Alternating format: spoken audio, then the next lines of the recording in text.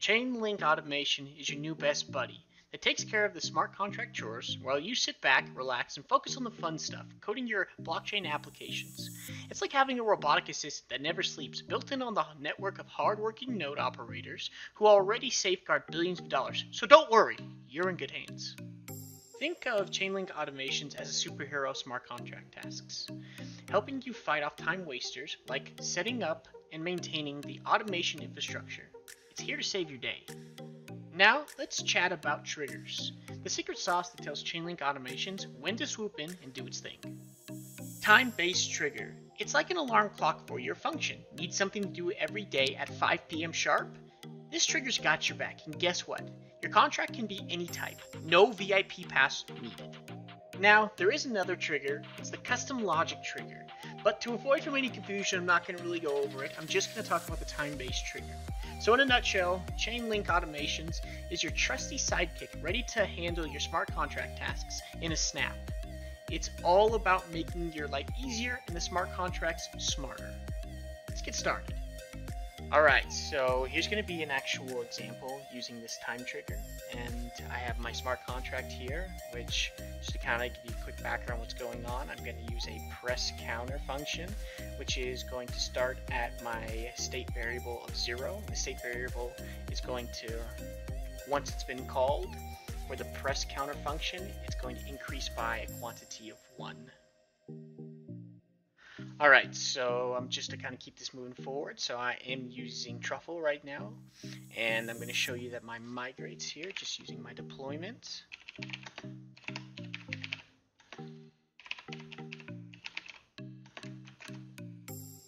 Alright, let's get this to start testing.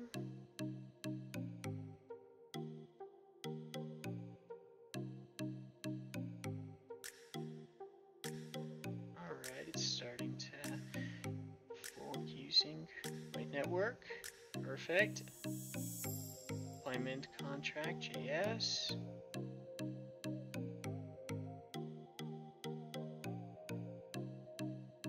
Alright, beautiful. So it has worked. So just to kind of give you a quick background, just please pay attention to this contract addresses, which we're going to really need right now. I'll show you an example of how we actually use it in the actual Chainlink itself.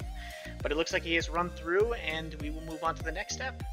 Alright, just to kind of keep it consistent, I'm going to show my truffle test right now, just to also show that this works. Dash dash network. I'm currently using my own test net here. Let's also pass this through right now. It's going to fork through. Compile correct, I love that. This may take a little bit, sorry about this. Takes a little while sometimes using these test networks. Oh, there we go. Contract automation, it's calling it out.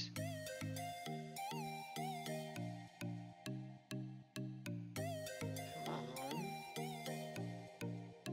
Alright, beautiful. It's passed. I actually do have a console log here too, just so everyone knows too that I do have my press counter test here, and I do have the press counter test function is running, so we can see that right now with the result of the actual press counter test. Beautiful, let's move on to the next step. Alright, just a side note if you guys are struggling. You can see right here I have my test note. And uh, if you guys are having any problems with the truffle configs, um, just to kind of give you guys a quick little background of it, I do have my private key, just make sure you guys fund it. I know that with Chainlink. They do require the link, of course, so just make sure that you guys do get it funded inside your contract and know your private key. Uh, we also are using Infura. It's for my node. And you know, I love to use Infura, and I do have my Chainlink ID. Just make sure you guys understand whatever your guys' testnet is. And yeah, so here's just a quick background in case you guys need to see that, and we'll move on to the next.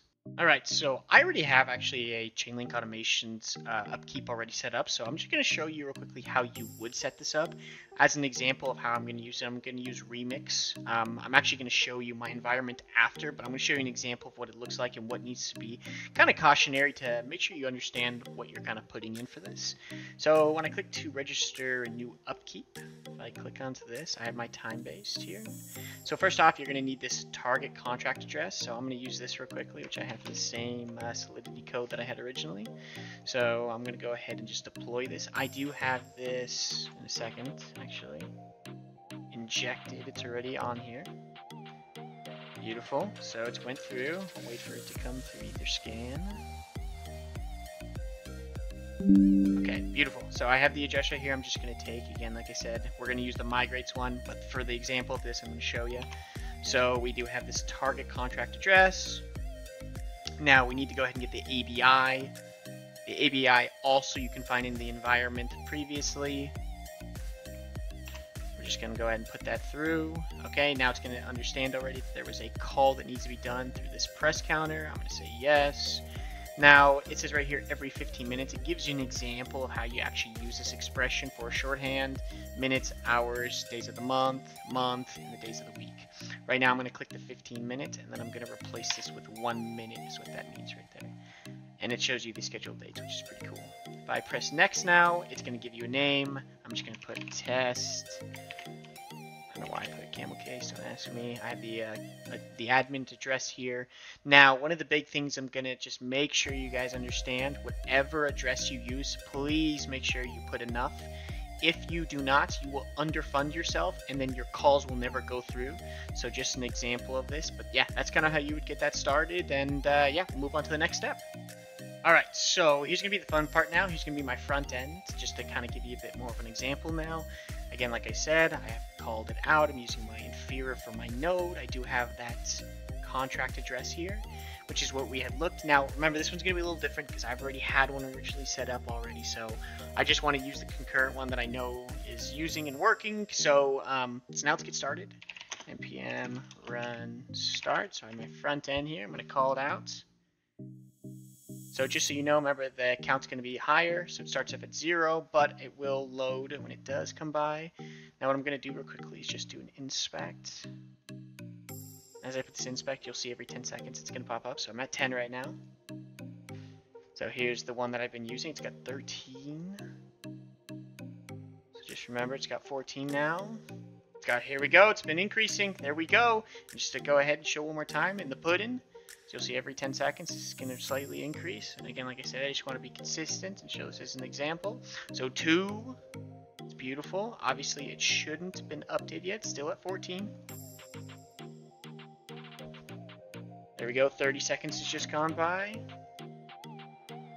Obviously, the 14 shouldn't change yet. 40 seconds. Remember, we have a count of 11 currently, so that's good.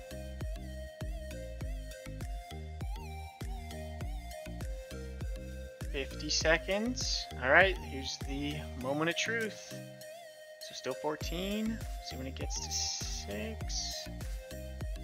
So one minute. Now let's see when I update it. So it shows 14. Has this increased?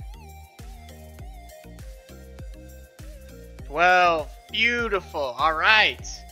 So again, guys, just a quick example of how this all works. I hope you guys learned something, and if there's any questions or anything you need help with, um, please uh, please reach out.